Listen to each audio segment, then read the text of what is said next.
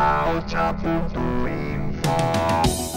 Las informaciones publicadas durante los últimos días acerca de la utilización de dinero público por parte de UGT, Comisiones Obreras y CEN para sufragar sus estructuras corporativas confirman, según el sindicato LAB, que UPN ha sobrefinanciado ilegítimamente estos agentes como un medio para obtener su adhesión al régimen. Fundamentalmente se trata pues, de, de la constatación de cómo ha funcionado el diálogo social en Navarra desde que en el año 95 se inició esa dinámica. Eh, se ha tratado de un diálogo social eh, basado en la compra de la voluntad eh, de UGT y comisiones obreras por parte del gobierno y en este caso la compra ha sido pues, prácticamente literal, es decir, se ha tratado de una eh, compra mediante digamos favores eh, políticos, pero también de una compra mediante lo que son, han sido inversiones económicas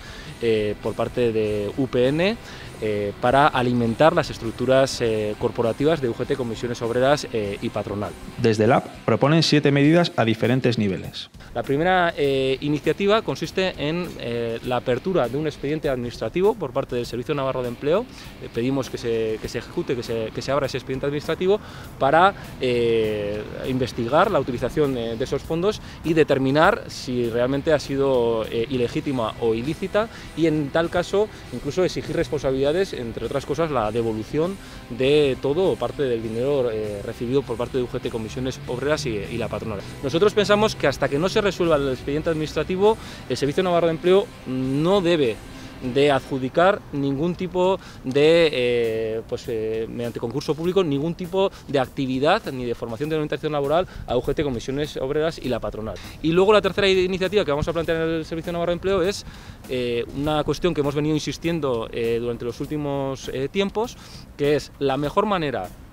la más eficiente y la más transparente de realizar las actividades relacionadas con la formación y la orientación laboral es hacerlo desde los servicios públicos. Insistir en que se debe velar por la igualdad de oportunidades en el acceso al empleo en los diferentes centros de trabajo. Porque lo que se ha desvelado durante los últimos días era que existía una estructura eh, no solo para hacer proselitismo sindical, sino también para enchufar a lo que son afiliados y afiliadas en determinadas empresas industriales mediante eh, camuflados en lo que serán servicios de formación y orientación laboral, por parte de UGT y comisiones obreras. Y una segunda iniciativa de cara al Departamento de Desarrollo Económico es que se haga un estudio para analizar el impacto que ha tenido toda esta política de sobrefinanciación de UGT y comisiones obreras en los resultados de las elecciones sindicales de Navarra. Planteamos eh,